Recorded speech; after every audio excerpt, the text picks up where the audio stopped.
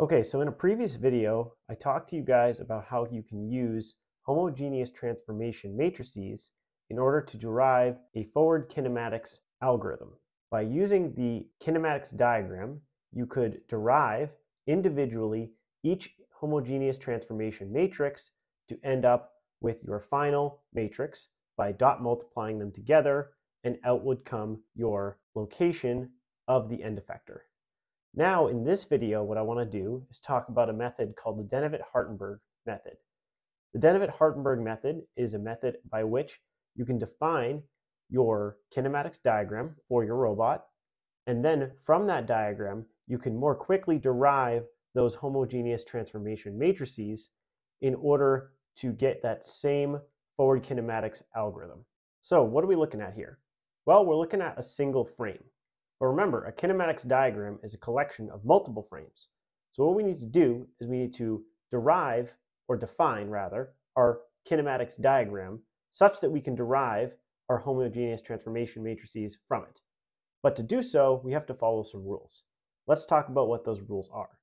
If we look at this info box, we can see that we have four rules we must follow when defining our kinematics diagram. The first rule is that the z-axis must be the axis of rotation for a revolute joint, or the direction of motion if you have a prismatic joint. The second is that the x-axis must be perpendicular to both its own z-axis and the z-axis of the frame before it. The third is that all frames must follow the right-hand rule. And finally, each x-axis must intersect the z-axis of the frame before it. So just saying those to you guys might not make sense, but that's why I built some visuals to help show that off. So obviously we can see that if we look at our uh, frame in the background here, we can see it follows the right hand rule and the x-axis is obviously perpendicular to its own z-axis, as you can see here.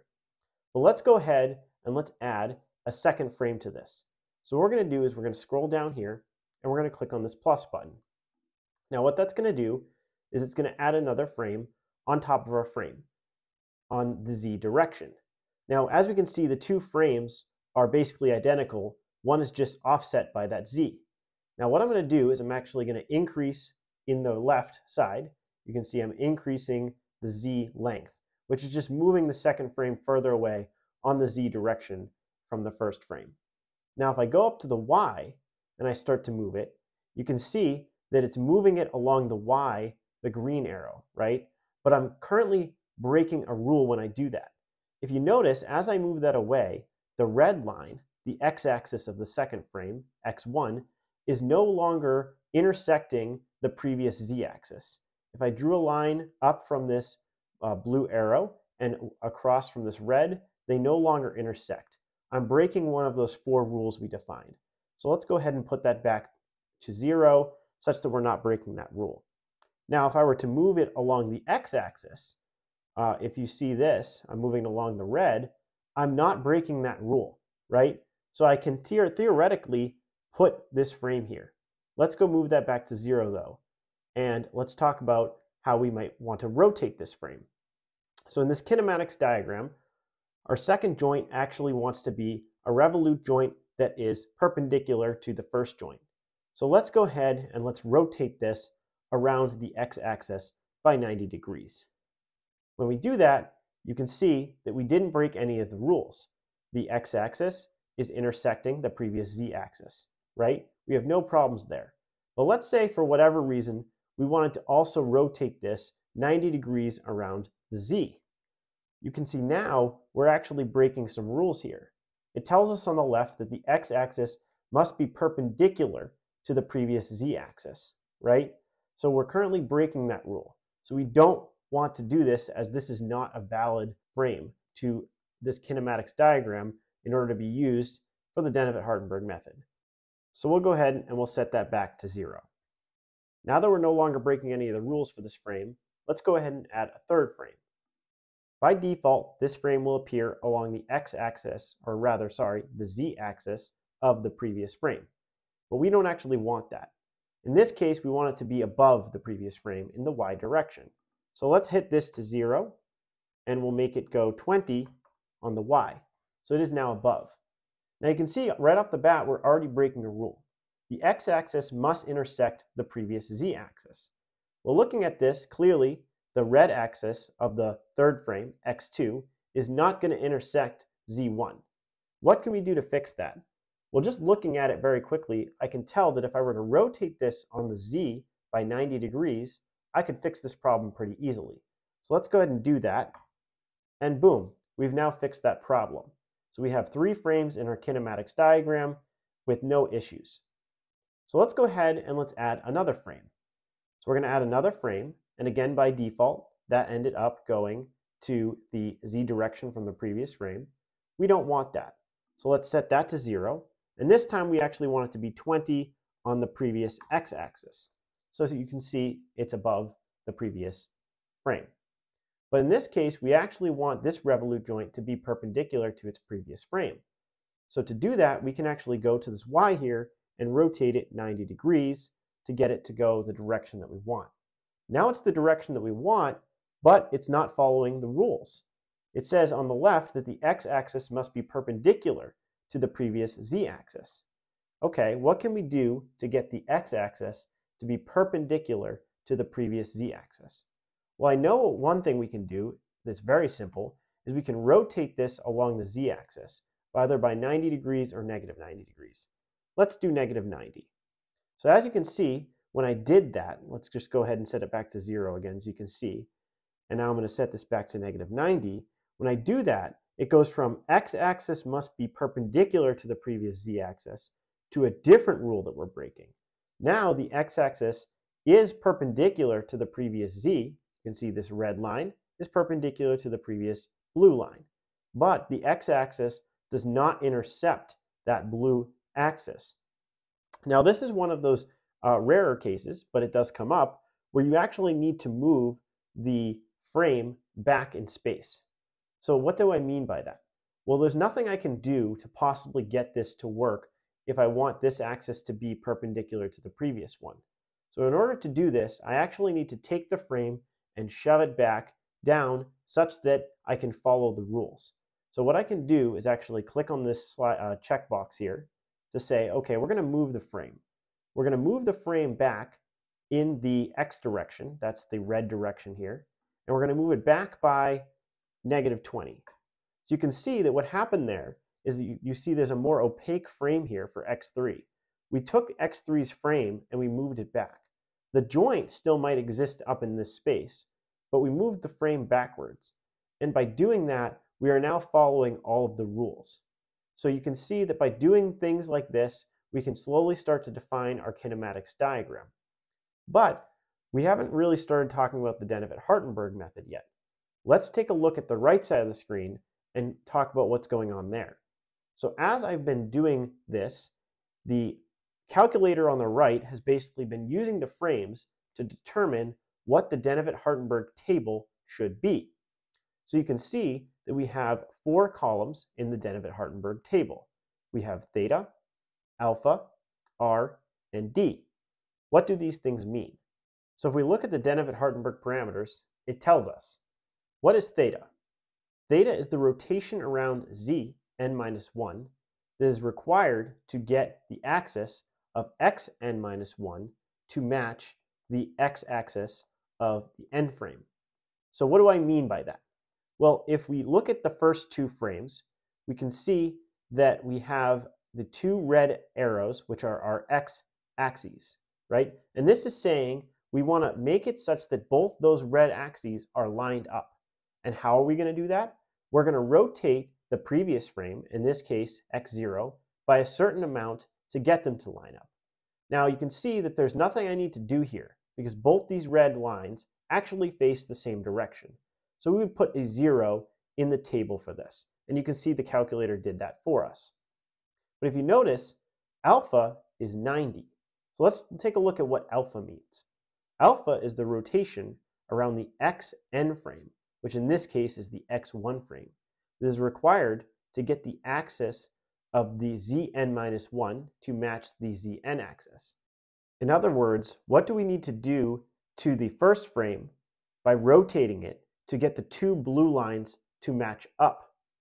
Well, clearly, if we take a look at that, and remember that this specifically says we're rotating around the xn frame. So in this case, we're going to rotate around the second red arrow, but we're going to rotate the first frame. Well, we're going to do this by rotating that first frame by 90 degrees. If we rotated that frame by 90 degrees, then this blue arrow will be facing in the same direction of the second blue arrow. Therefore, if I do that, both the z's will match up and I will uh, be passing this rule. So we put 90 degrees in alpha. Next, let's take a look at r. r is the distance between the center of the two frames around, along the xn direction. So xn, that is the second frame here, right? Because xn minus 1 is the first frame, right? And what is the distance between the center of the two frames along this red direction of that second frame? Well, there is nothing, so we put a zero there. In the next one, for D, we need to look at the distance between the center of the two frames along the zn minus 1 direction. So zn minus 1, that's the first frame here, right? And what is the distance along that z-axis to the next frame? Well, we know that. It's 20. We actually defined that. So we put a 20 in this box. So I just walked you through manually how I can look at these frames and I can fill in those boxes. But the calculator, as I define my frames in the left, will do it for me. That's one of the beautiful things about this is I don't have to think as much because as I define my frames, I can see it building the Denavit-Hartenberg table for me on the left. So eventually, after doing this over and over again, you're going to end up uh, with a full-fledged robot. Let's go take a look at one. Let's take a look at, for example, this example robot. So this example robot, you can see, has a bunch of frames. It has uh, actually seven because there's six plus the end effectors frame. And in this case, we have a full Denavit-Hartenberg table that got defined for us. Now, what's cool is after defining the Denavit-Hartenberg table, there's actually a method for defining or generating those homogeneous transformation matrices from that table.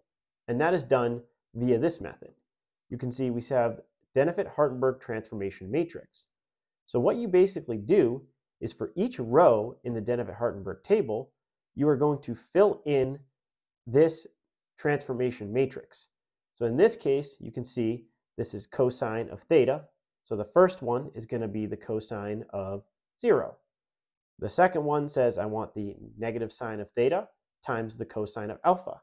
So that's going to be the negative sine of uh, 0 times the cosine of 90. So on and so forth, you would fill in all of these boxes. But uh, instead of doing that all manually, what this calculator will do for you is it will actually define those homogeneous transformations for you by basically taking these numbers from the Denavit-Hartenberg parameter table plugging them into each uh, table row by row, and it outputs them down in this homogeneous transformation matrices section. And you can see that sometimes you might have uh, things become like zero because the sine of, on the first row, the sine of zero and times the cosine of 90, which is zero, uh, will result in zero. So you can see it just basically turns those into zero because it knows it will become zero. Now what's cool about this is after I define these homogeneous transformation matrices for each um, frame, we can actually start to uh, define a, a, final homogeneous transformation matrix by dot multiplying them all together. And in the yellow on the right, you can see the end effector's position. We're doing forward kinematics. So to prove this, what I can do is I can actually go down here and I can see that I have joints that I can rotate. Let's say, for example, I rotated J0. Well, if I rotate J0, you can see that the robot is starting to rotate, right? And as I rotate that frame, you can actually see that in the first homogeneous transformation matrix, the cosine is now not just zero, but zero plus our angle. And you can see that theta is changing here, where in this case, theta is the angle defined in this input on the left. Now, if I scroll down to the bottom, as I change J0, we're not seeing any changes to the end effector's position. That's because the end effector's position isn't changing when I change J0. But what would happen if I changed J1? You can see that now we're starting to get a uh, less height because we're actually, the robot's moving down and it's moving in the negative x direction. If I spun it the other direction, you can see that we're also going down in the z and we're moving forward in the, uh, in the x direction. If I were to then rotate J0, we're going to see a change on y because we're starting to move it in the y direction. And if I scroll to the top, and you can see our homogeneous transformation matrices, as I change those variables, they change inside of the homogeneous transformation matrix, and the math that's happening under the hood is seen in real time on the screen. So you can see when I change J0, it's changing the homogeneous transformation there. When I change J1, it's changing it there. And all of these things are getting dot multiplied together to result in these three yellow boxes, which is the end effector position for our six axis robotic arm. So I hope you guys enjoyed this. Um, and I hope you guys take advantage of this calculator to play around with the Denavit-Hartenberg method and uh, use it to assist you to prove out different kinematics diagrams, which you can see by going up to the top here we can go ahead and grab maybe the Universal Robot UR3E. We can sc scroll up on that and see that we have a completely different kinematics diagram, but it's also following all of the frame rules, and we have our Denavit-Hartenberg table, and we have the position of our end effector. One more thing to note is you can actually play with these switches over here to turn it off on and off something like the main grid.